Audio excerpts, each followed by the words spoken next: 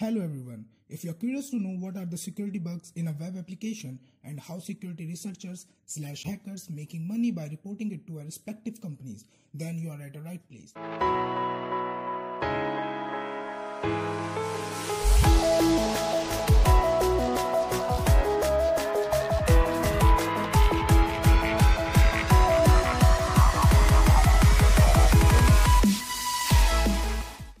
Course is all about bug bounty or you can call it how to earn money through finding security issues in web application. So the first question is what is bug bounty programs?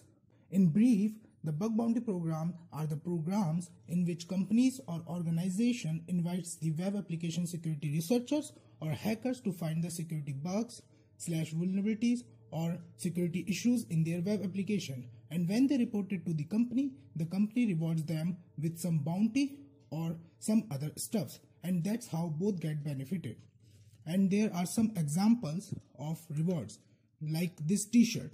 This t-shirt is given by dutch government in their bug bounty program and it says i hacked the dutch government and all i got was this lousy t-shirt the another t-shirt is given by Sony in their bug bounty program which says secure at Sony.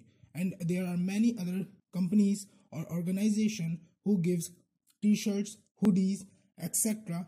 in their bug bounty programs. The another type of reward is a Hall of Fame. In this type of reward, the company have a dedicated web page which shows the faces or profiles of a security researcher who helped them in being secure. The another type is the money. If you do not know what is this, this is the HackerOne web page. I'll tell you later what is HackerOne. So you can see here the bounty of $1,120 is given by twitter.com to this person. So this was very little introduction about the topic bug bounty. In the next video, we will see the outline of the course